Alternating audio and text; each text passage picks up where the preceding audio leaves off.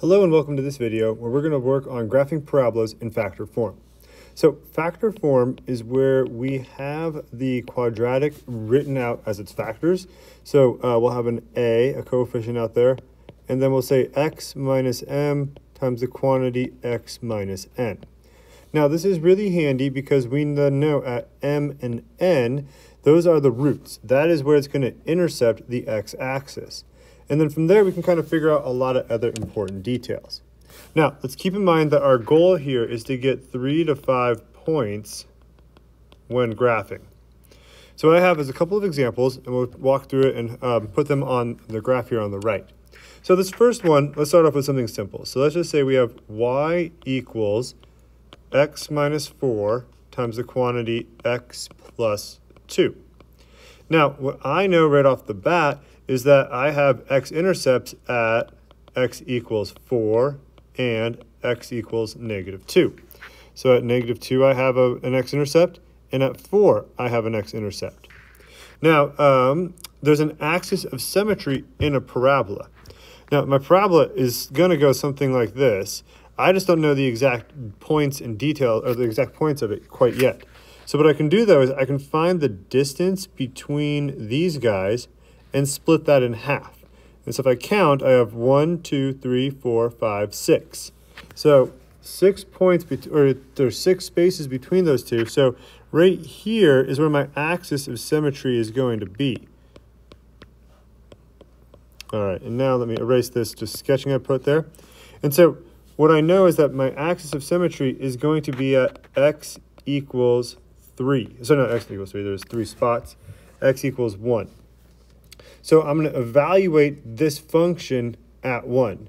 And when I do that, I'll get y equals 1 minus 4 times the quantity uh, 1 plus 2. Simplify that a little bit. I have negative 3 times 3, which is negative 9. And so my vertex is going to be at 1 comma negative 9. So 1, negative 9 down here. And so I've already found three points. But if I want a few more, I could find my y-intercept. And the way I find my y-intercept is by just looking at the actual numbers. So here I'm going to take a look at my negative 4 and my 2. I'm going to multiply these together. So I'm just going to go negative 4 times 2. And that gives me negative 8. So I now know there's a y-intercept at negative 8. And there's a y-intercept, or then there would be, a, um, based off the axis symmetry, another point right here and I have my three, my three to five points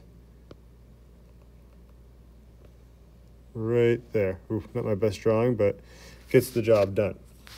All right, so now let's look at a different example and let's make it maybe a little more complicated. So back to the pen, new color, let's go with red. And here, let's go with something like, um, let's say, we'll switch it up, we'll go f of x equals 4 times the quantity x minus 1, x plus 2. Okay, so uh, right off the bat, I know I have x-intercepts at 1 and at negative 2. So 1, negative 2. All right, awesome. Now, uh, with that, I can look at this and I can split the difference, and that's going to be right here. And so from when it comes to my vertex, I know the x coordinate is negative 1 half. And the way I did that, again, is I looked at this and, one sec here, um, saw that this distance is 3. And so I just split it in half and then uh, found the halfway point, which is negative 1 half. So I'm going to evaluate that 1 half, f of negative 1 half.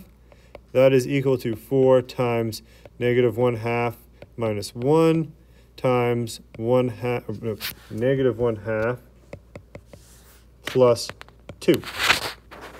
Simplify that a little bit. That's 4 times negative 3 over 2. And then this would be 3 over 2. And so let's see here. These 2's are going to cancel out with that 4. And then I'm going to get negative 9 again.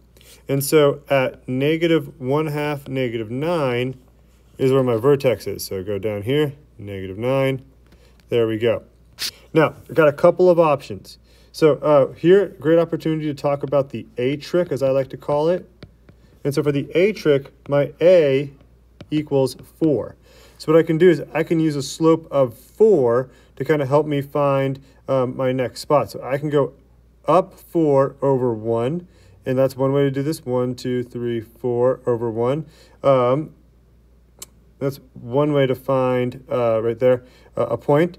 And then there's an axis of symmetry, so I can then go right here as well. And then, uh, so that's one way to combine uh, points. Another way, though, is to, again, find the y-intercept. And the way you would do the y-intercept is take these numbers, 4, negative 1, and 2, multiply them together. 4 times negative 1 times 2. That's going to give me negative 8. And so right about here would be my y-intercept. And then, again, right about here, let's see, is that? Oh, no, right there, right there. There we go. Right there. And so I have a very steep parabola.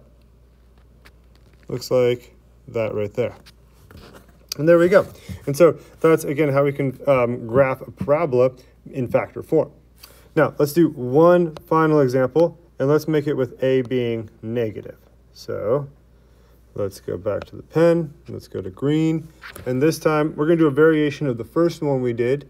Um, or no, actually, we'll do a variation of the one we just did here. So uh, f of x is equal to negative 2 times the quantity x minus 1, then x plus 2. So again, I'm going to have the same intercepts at x equals 1, x equals negative 2, so that right there and right there. I have the same sort of axis of symmetry right here, so I know that my vertex is going to, oops, vertex is going to be at negative 1 half. But now I got to plug this in. So f of negative 1 half is negative 2 times the quantity. Uh, well, we already kind of did this, so we know that this is going to be negative 3 over 2. And this one's also going to be 3 over 2. Um, and so now only one of the 2's is going to cancel out. So here we're going to get a positive value because we have those two negatives multiplying. And we're going to have 9 over 2. And so negative 1 half 9 over 2, which is what, 4.5? So 4.5 roughly right there. All right, now here the A trick eh, gets a little tricky. If I wanted to, I could use it, um, but I could also try to find the intercept.